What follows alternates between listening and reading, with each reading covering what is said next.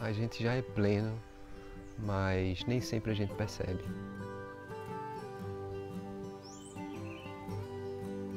Às vezes a gente pode achar que a plenitude vem quando a gente compra um bem de consumo, quando a gente muda de trabalho, ganha mais dinheiro, inicia um novo relacionamento.